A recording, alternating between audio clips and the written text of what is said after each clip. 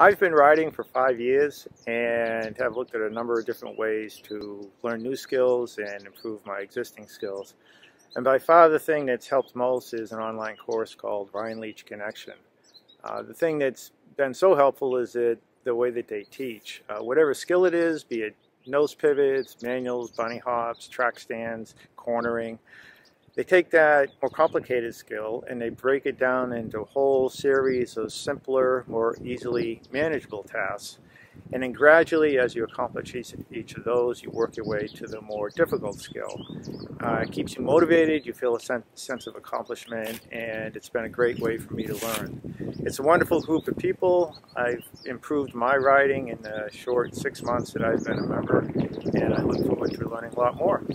I recommend it to, uh, to anyone who wants to improve their mountain biking skills.